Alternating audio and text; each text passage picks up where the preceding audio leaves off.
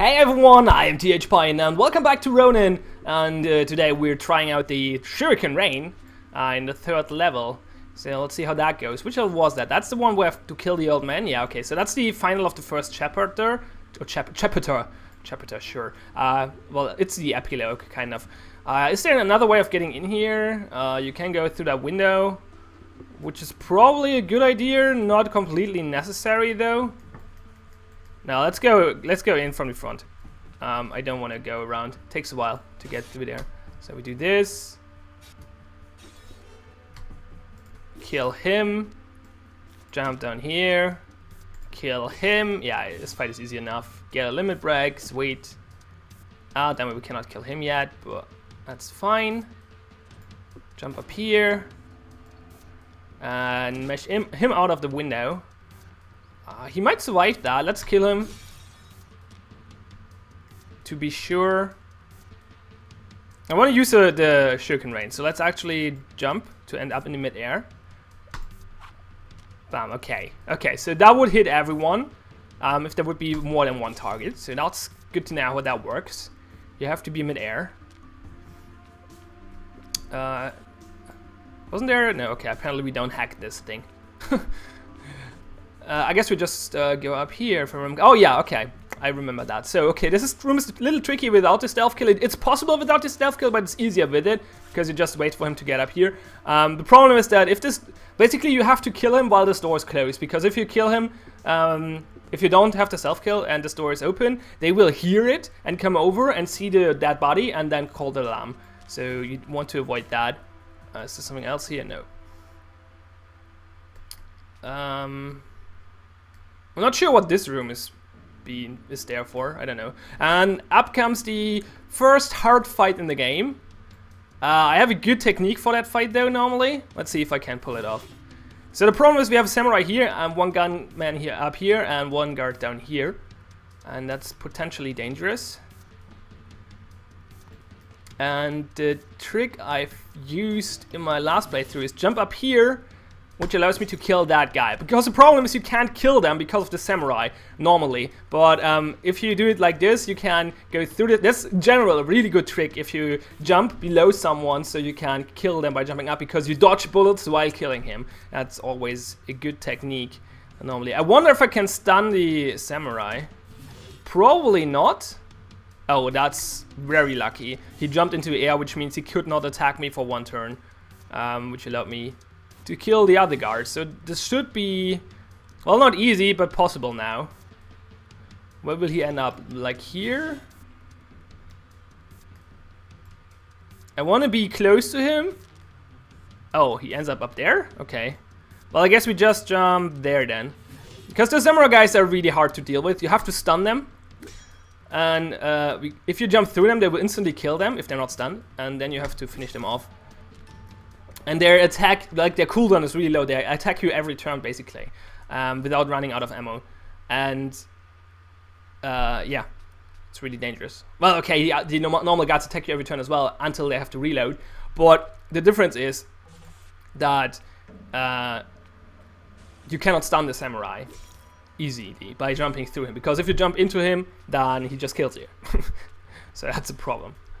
So we killed the old guy, very anticlimactic. But the final fight of this mission is coming up. With two samurais in this room, which can get a little dodgy. So we again, we will try the same technique. We will try to get over here. Okay, that's a little dodgy because I have to get there without touching the samurai. Okay, worked.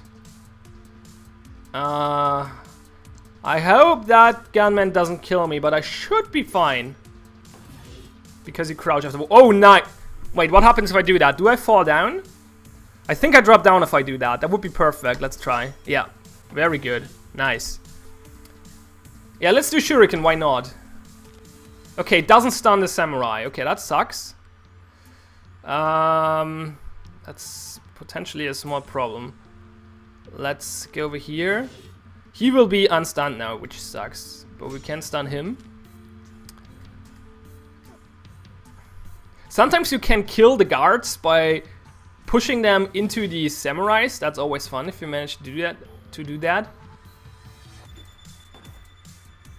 That was actually probably not the best strategy ever. I cannot kill him because then the samurai kills me, so that's bad. Uh, let's try something like this.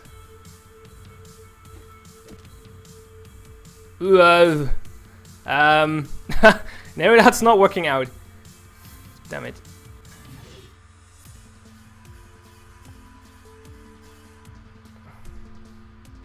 Let's get both samurais in the air. Oh, he's not attacking me for some reason.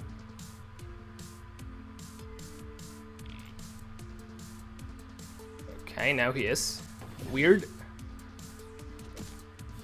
Okay, both samurais in the air. Perfect. That allows me to kill the guard. And, uh, okay, the shuriken rain doesn't help, if I remember correctly. How do we get rid of the samurais? They're so annoying. Uh, I guess we can do something like this to stun him. And then hopefully somehow get him as well by maybe... Actually, no, we don't have to. We can just kill him. Oh yeah, that will that will work. Okay, if you jump to him, he will jump up here and will be mid-air, so he will not attack us next turn. So we can kill that samurai. So we can just go over here. He's mid-air, cannot attack. We kill the other one, and now it should be fairly easy to kill him as well. Let's just get up here. Uh, he's not gonna die from that fall. You can make them jump out of windows and fall down and die. It's quite entertaining. I don't want to make that jump because I think I die. I think I cross lines with him mid-air.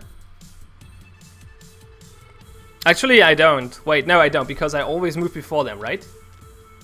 Well, not exactly before them, but it, it kind of worked anyway.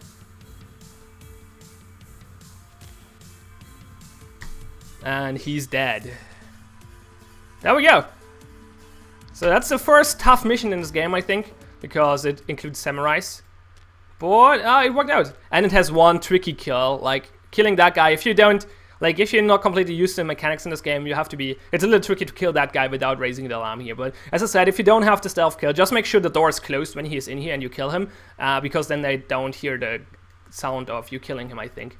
And then you can sneak out there without getting noticed. Oh yeah, and you have to jump actually on the motorcycle. Jumping over the motorcycle doesn't work. That works in Gunpoint, so that's a big difference in those two games. No, no, it's one of the small differences, but the games are pretty different. They just look similar from the and the jumping mechanics similar. So we could get this point uh, in order to go for Shadow Strike, but the thing is, the this point doesn't do anything yet, so I just save it up and use use it when we have to. I could do it; it doesn't make a big difference. But if I if I get another skill point, or if I think in the next mission, oh damn it, I need that skill first, then I could still use that point. So I will not use it now because it doesn't do anything for me. So that's uh, mission three, if I remember correctly. I'm TH Pion. Thanks a lot for watching. Have fun and see you next.